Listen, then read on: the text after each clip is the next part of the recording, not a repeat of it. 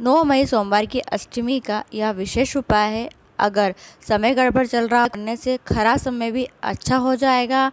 तीन दिन में ही आपके कार्य बनना शुरू हो जाएँगे। तो चलिए हम वीडियो शुरुआत करते हैं। बहुत ही सरल उपाय है।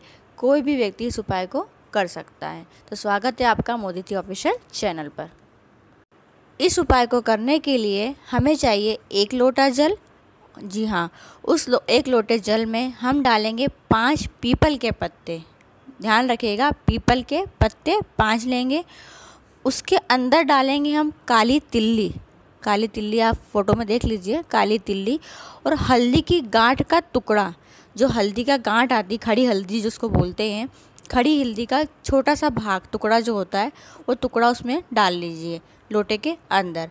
आप उस कलश को, उस लोटे को लेके जाइए। आप शिव मंदिर में, शिव मंदिर में जाकर उस पूरे जल को पहले अपनी कामना बोलिए। आप जिस लिए इस उपाय को कर रहे हैं, रोग के लिए कर रहे हो, जिस भी समस्या के लिए इस उपाय को कर रहे हो वह कामना बोलकर, भोलेनाथ पे पूरा जल ऐसे की ऐसी, पूरा उड़ेल दीजिए, पूरा चढ़ा दीजिए।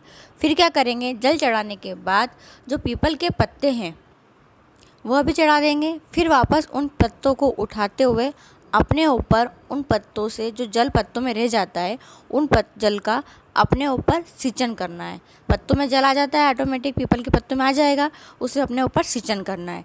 सिंचन करके पत्तों को वहीं रख के आप वहाँ से आ जाइए।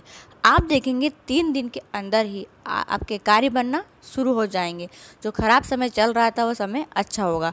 पर इस उपाय को सोमवार की अष्टमी के दिन करना है। अगर वीडियो पसंद आए तो कमेंट में श्री शिवाय नमस्तुभ्यम हर हर महादेव जय श्री महाकाल ज़रूर लिखिएगा। यह उपाय गुरुजी पंडित जी प्रदीप मिश्रा जी ने ही बताया है। केवल मैंने इसे समझाने की कोशिश की है।